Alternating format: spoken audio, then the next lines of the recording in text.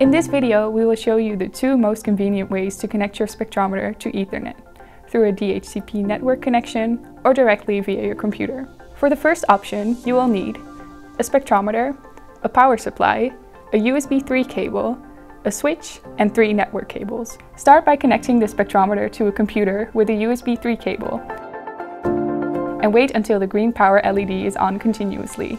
Go to the Start menu, select Avantes, and open the IP settings AS72 utility in the Start menu. Click on Open Communication and activate the connected spectrometer. Make sure the DHCP is enabled by checking the following box. Save these settings to the EEPROM and deactivate the spectrometer by clicking these buttons. It is now safe to close the program. Open the properties of Ethernet via the control panel and check if the IPv4 properties are selected. Click with the right mouse button on Internet Protocol version 4, then click Properties. Select Obtain an IP address automatically. Once the program is closed, the spectrometer can be connected to a DHCP network. Remove the USB cable and make the following connection. First, connect a power supply and a network cable. Please be aware that the switch needs to have access to the DHCP server, otherwise the spectrometer will not be registered.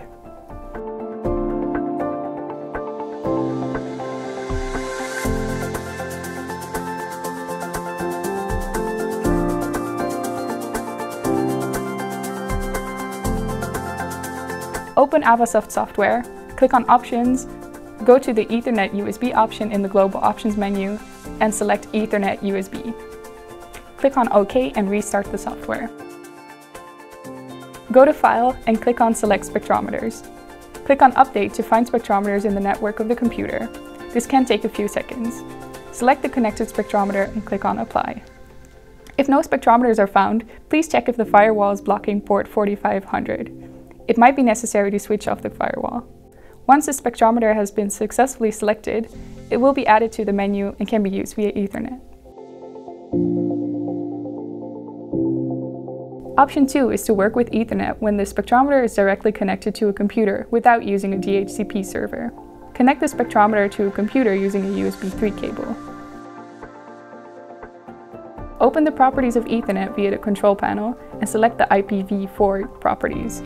Click with the right mouse button on Internet Protocol version 4 and then press Properties. Click Use the following IP address and fill in your own IP address. Fill in the fixed Ethernet parameters, IP address and subnet mask. Open the AS7010 IP settings utility through the connected USB cable. Fill in the data from the IPv4 properties.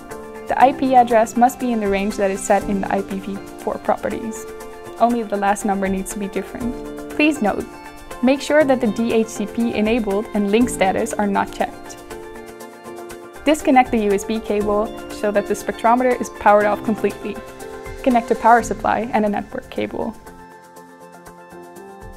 Open the software, click on Options, click on USB versus Ethernet and select the Ethernet USB option. Click on OK and restart the software. Go to File and click on Select Spectrometers. Once the spectrometer has been successfully selected, it will be added to the menu and can be used via Ethernet. If no spectrometers are found, please check if the firewall is blocking port 4500. It might be necessary to switch off the firewall. If you're still experiencing problems after following these instructions, please contact us for support.